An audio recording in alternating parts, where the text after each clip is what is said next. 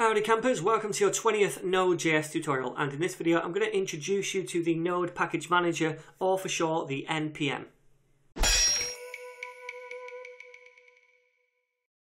Okay then Dogs, so in the last tutorial I showed you how we can perform some basic routing like this and we discovered that this way of doing it could quite possibly become tiresome when we have many pages on our application. Now fortunately there is a package called Express which can really help us slim this down and create web applications on Node. But to do that, to use it, first of all we're going to have to talk a little bit about the Node Package Manager. Now the Node Package Manager, or NPM for short, comes installed with Node.js when you install that. And basically, it's just a bunch of command line tools which can help us install third party packages or modules, if you like, to help out with our Node projects. So Express is one of these packages and there are many, many more. It is a huge ecosystem of third-party packages. That's why Node.js is so great. So a node package is essentially just a bunch of code that someone else has already written, right? And it helps us perform a certain type of task within Node.js applications. For example, the Express package helps us with routing and templating and such. So the idea is, is that we can load these packages into our Node application and then use their functionality in our code. And the way we do that is by using the Node Package Manager. So using the Package Manager, we can install packages, update packages, or even publish our own packages for other people to use as well. Okay then gang, so I am on the Node Package Manager website which keeps track of all these packages available to us and that's at npmjs.com, I'll leave the link down below. And basically here we can just search for what packages are available to us and it's going to give us information about those packages and tell us how to install them. So let's just go ahead and search for Express and it's going to give us some drop down options, some suggestions right here, but I'm just going to click search. And then any package relating to Express is going to show up for us.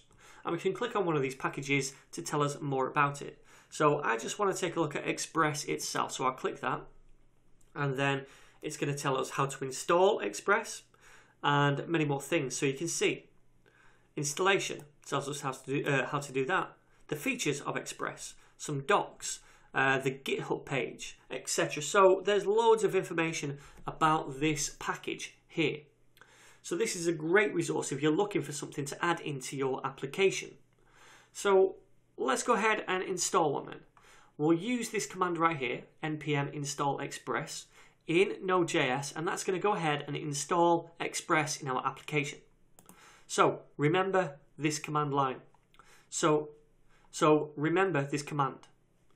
So let's go over to our application, come to the terminal and all we have to say is npm install Express. And if we run that, then this is going to take just a minute or so.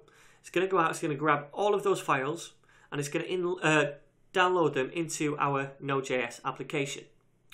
And you can see already it's created this Node modules folder. So it's fully installed now. And if I open this up, you're going to see huge amounts of folders. Now, don't worry, don't let this put you off. You can see Express is right here. And this is the module we installed. However, it's also installed all these other modules or packages, if you like.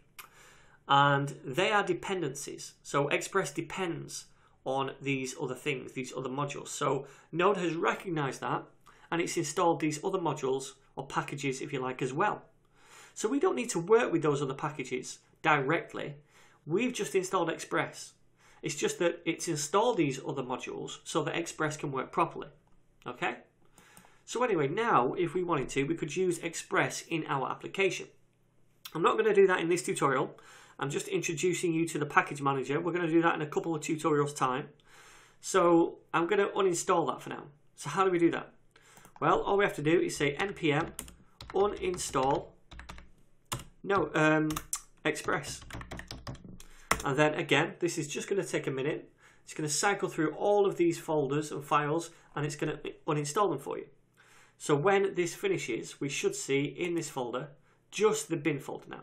So it's taken those folders out. Okay, cool. So this is the Node Package Manager and how we use it to install packages that we can use in our application. So in the next tutorial, I'm going to introduce you to a file called package.json. And this file is going to help us keep track of all the packages we install, how they can be updated, and it's uh, also going to help you when you pass your code on to other developers. It's going to tell them what they need to install for this application to work. Okay? So we'll take a look at that in the next tutorial. Any questions so far, leave those down below. Otherwise, guys, don't forget to share, subscribe, and like, and I'm going to see you in the very next tutorial.